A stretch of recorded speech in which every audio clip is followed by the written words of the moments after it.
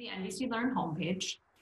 You can find our current events at the top of the left-hand side, as well as in the recently added carousel. Archival resources are sorted into any of the disciplines on the left-hand side where they're relevant, and NBC Learn original collections live at the bottom of the left-hand side. Every video on NBC Learn comes with a full text transcript as well as closed captioning. Closed captioning is also available in Spanish for any resource added to the site from 2015 onward. Underneath the video, in addition to a short description and metadata for the resource, you'll find our citation generator. Simply choose the style of citation you wish to create, click copy, and paste that into whatever document you're working on.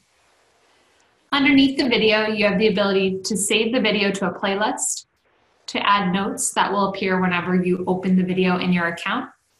And the download button refers to the ability to save NBC Learn videos to our offline app, which is available for download in the upper right-hand corner of the site.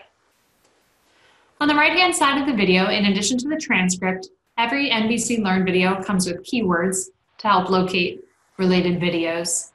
You can also pull up any playlist you've created in your account, and select NBC Learn resources come with lesson plans and questions related to the videos.